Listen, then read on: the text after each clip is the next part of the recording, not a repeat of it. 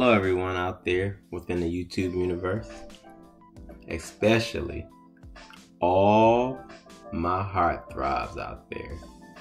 I formally welcome all of you to the initial episode of the Heart Heartthrob Handsome Rob show. Thank you, everybody, for tuning in. This first show is going to be very intriguing and very interesting. We are mainly going to focus on my backstory and how I became Heartthrob Handsome Rob. I'm also known as Motor City Mink, Detroit's Flyest. The infamous one, the 21st century pimp. The persona in which I served a 13 year term of imprisonment. My full name is Robert Charles Daniels. I was born August 7, 1979, in Detroit, Michigan, with my fraternal twin brother, Roderick. We had a wonderful upbringing. I truly envy our childhood. It was it was like we were rich without being rich. You know what I mean? At a very young age, I always had, I always have been fascinated with the opposite sex. Women, man, women are my only vice.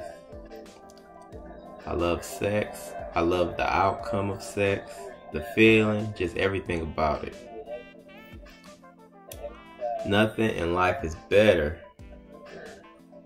It was only natural for someone like myself to end up within the profession of ill fame. My original pimp name was Twin T. I selected the name in recognition of my twin status and my most preferred form form of currency and the most popular form of currency. My ladies made $20 every five minutes. That's $120 every 30 minutes.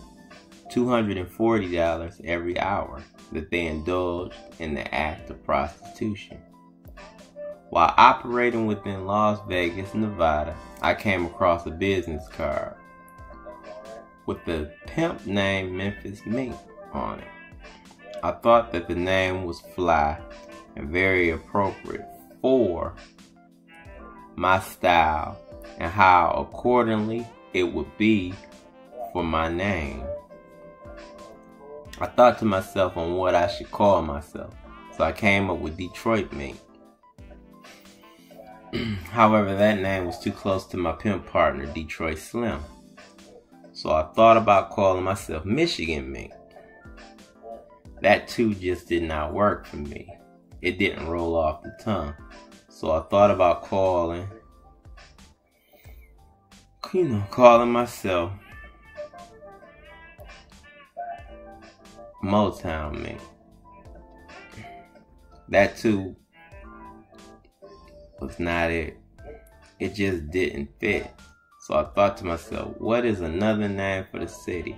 And that's when it hit me Motor City Mink. Yes, that is it.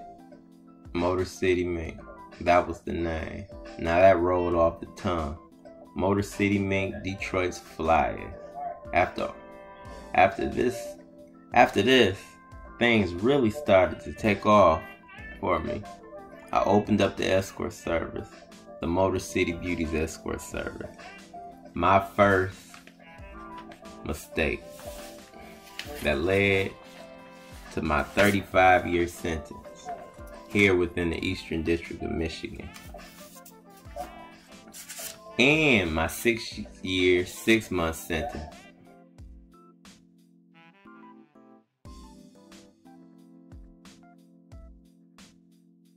within the Southern District of Florida that ran consecutively to the 420 months out of Michigan, Altogether, I was sentenced to 498 months.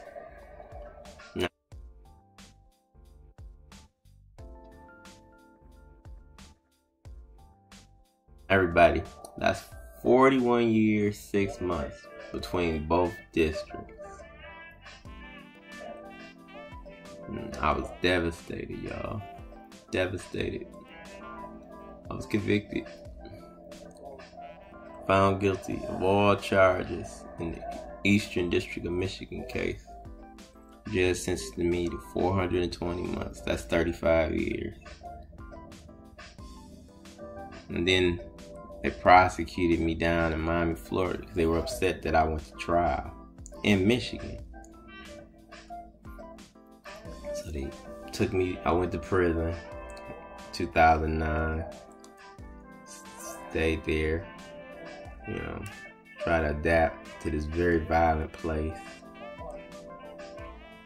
telling you, very violent. It's USP Pollock, one of the most violent institutions in the federal system. Mm. From there, a year later, I went down to Miami, Florida, and I stood trial in Florida. It's just a one day trial in Florida. The Michigan trial, I believe, was about a month and a half, almost a month trial. That's what I believe. It was about a month the trial in Florida was just one day. It was one day trial.